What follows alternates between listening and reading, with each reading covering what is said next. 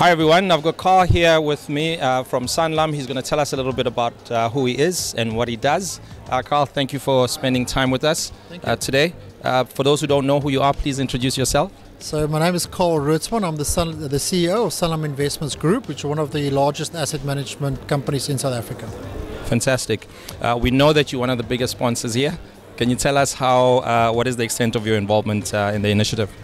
Uh, so obviously green economy and changing um, the world to help to save the planet and get to uh, zero carbon by 2050 is an incredibly important part of our business. We six or seven years ago specifically made a change in Sanlam Investments where we took impact and the United Nations goals as a core investment philosophy, and with that um, we set up what we call a few legacy funds those legacy funds either go towards job creation, uh, empowering of the previously disadvantaged, um, providing leadership to certain companies, providing finance to startup companies to grow uh, those companies to create employment in South Africa, to make a difference in communities.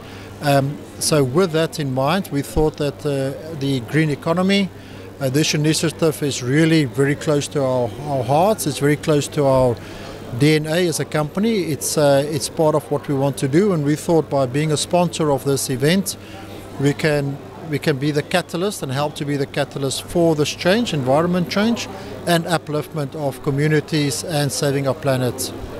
Fantastic. I mean, Sanlam is one of the I guess one of the companies that we are so proud of in this country, uh, and we always, uh, uh, you know, appreciate it when companies like yourselves are leading, are leading such initiatives those companies that haven't taken the initiative are still wondering, you know, um, is this something we should participate in, um, you know, in improving or reducing our, footprint, uh, informing communities and the like, supporting um, disadvantaged communities.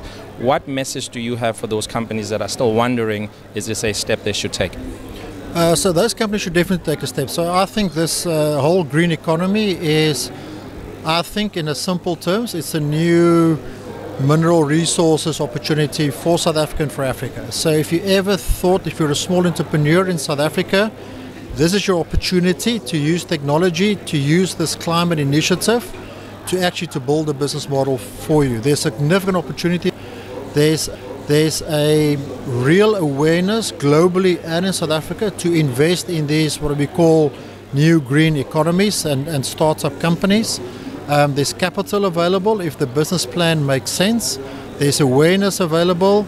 Um, so I think my message to everyone is think about your business model, think about what you want to do. Um, approach companies like ourselves. We have a, a SM, small and medium enterprise debt fund where we specifically provide financing to companies that are black owned, previously disadvantaged owned, black women owned.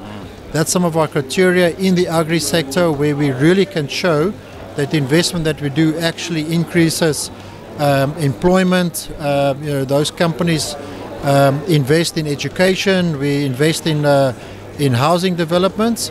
So I think there's a real opportunity to be entrepreneurial, to build your business, to access funding from companies like ourselves or others, um, and to create an opportunity for growth and to be successful in that. Fantastic, thank you. And to our audience, you know, one of the things Carl said is the, the phrase business model. Business model innovation really gives you that opportunity not only for you to start on your own, but really to plug into the existing environment.